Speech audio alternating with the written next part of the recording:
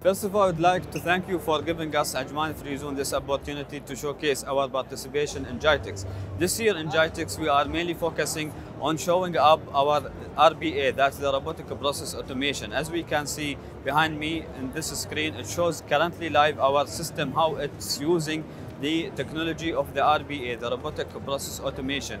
We have embedded this RPA into our internal processes in terms to speed up the customer requirements. So all of our customer, all of Ajman Free Zone customer are currently having an access to their one only portal. Through this portal, the customer can submit all his requests. There is no need for any customer to come and visit physically Ajman Free Zone because all of our uh, services are digitally transformed 100% through the portal.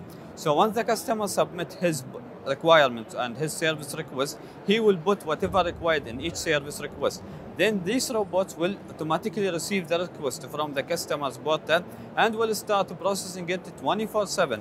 This is the advantage of the robotic.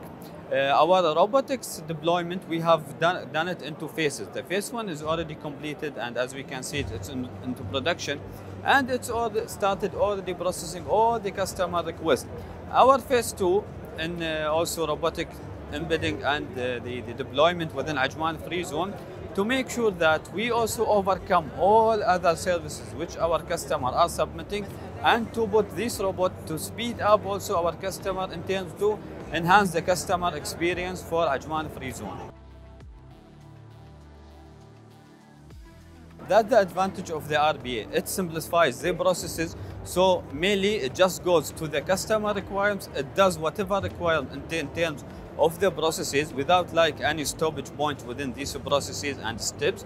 And the second thing is that it will definitely lower the cost from our side. We are talking about the operational cost, the, the, the, the required effort and also support and let's say the, the, the technology requirement support in terms of these processes. So this robot are really doing 100% big efficiency within Ajman free zone also.